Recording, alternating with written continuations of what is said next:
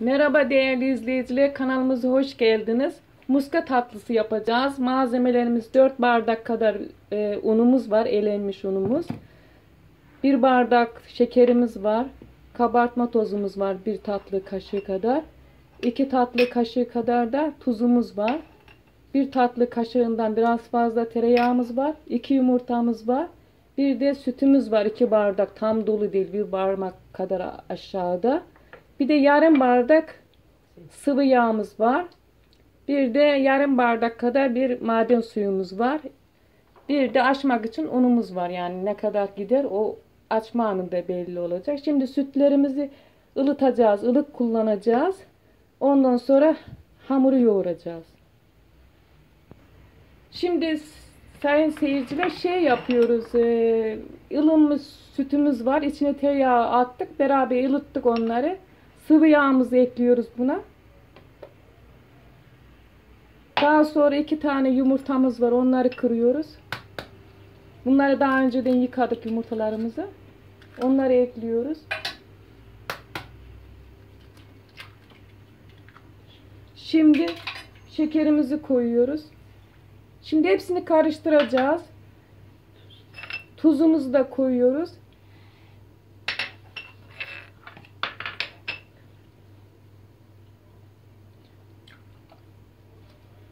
Maden suyumuzu da koyuyoruz. Böyle bir karıştırıyoruz bunu.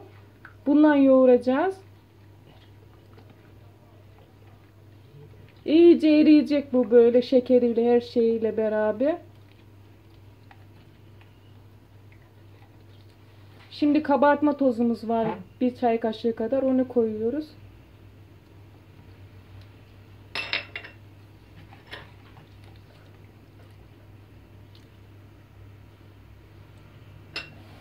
Şimdi unumuza bunu azar azar yedirip yoğuracağız.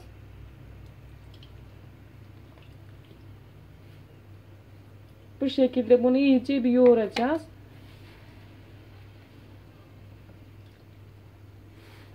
Hepsini koyduk buna. Şöhret Hanım'la beraber yapıyoruz. Arkadaşımı. Açma işlemini o yapacak. Ben yoğurma işlemini yapıyorum. Umarım beğenirsiniz. Güzel bir tatlı. Hamur iyice yoğrulur. Böyle hemencecik şey yapılmıyor. Devamlı bir şekilde bir yarım saat yoğrulması gerekiyor. En az kıvam alsın diye. Böyle tam yani kıvam almayınca böyle ıslak kalırsa un ekliyoruz. Gerekince. Çünkü her malzemede aynı kıvam tutmayabilir. Ele yapışmayacak bir hamur olması gerekiyor. O yüzden yoğuruyoruz. Böyle ele yapışacak durumda oldu mu hafif bir un serpiyoruz ona. Yapışmasın.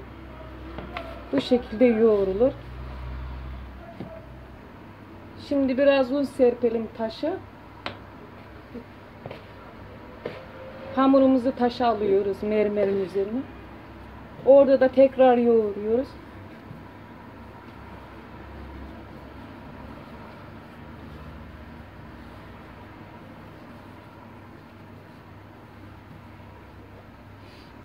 Şimdi bezeyi ayırıyoruz. 3 tane parçaya böldük. Yani 3 tane böyle parçamız var. Bunları bu şekilde yoğuruyoruz tekrar. Şekil veriyoruz. Daha sonra açacağız bunları. Şimdi şöyle tanem bezileri açıyor.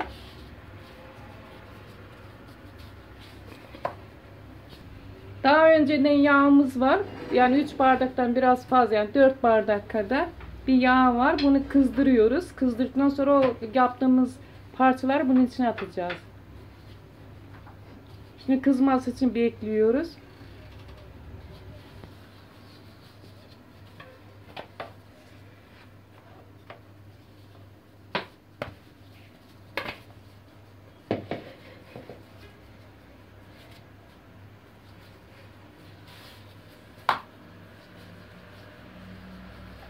Şimdi şeritler halinde parçalıyoruz hamuru. Şerit halinde kesiyoruz onları.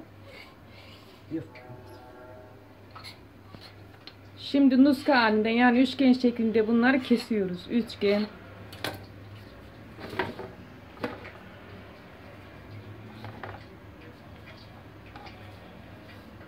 Dikdörtgen şeklinde.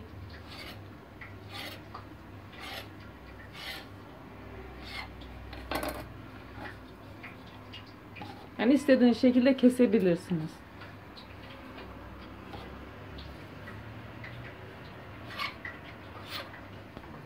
Şimdi biz de açıyoruz yufkamızı.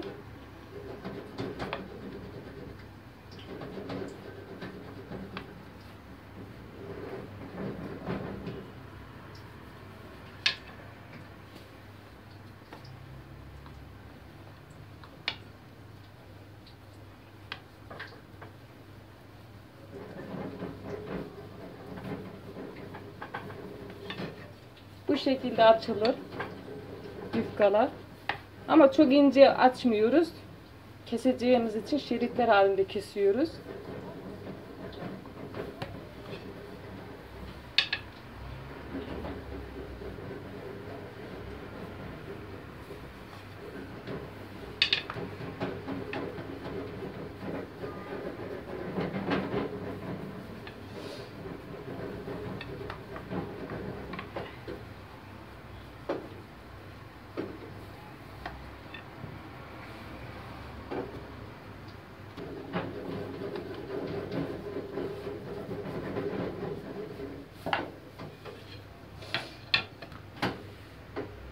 Şimdi kızgın yağa attık şeritleri.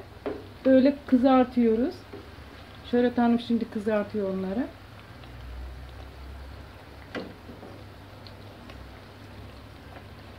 Kızgın olması lazım yağ. Şimdi bunun açım şekli bu şekilde. Çok ince olmayacak. Birazcık kalın kalacak. Bu şekilde. Şimdi şeritler halinde kesiyoruz bunu. Bu şekilde.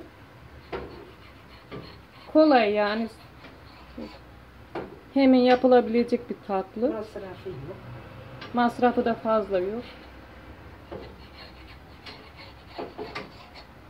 Yani şöyle istediğiniz şekilde kesebiliyorsunuz bunları. Üçgen şeklinde nasıl isterseniz kesebilirsiniz.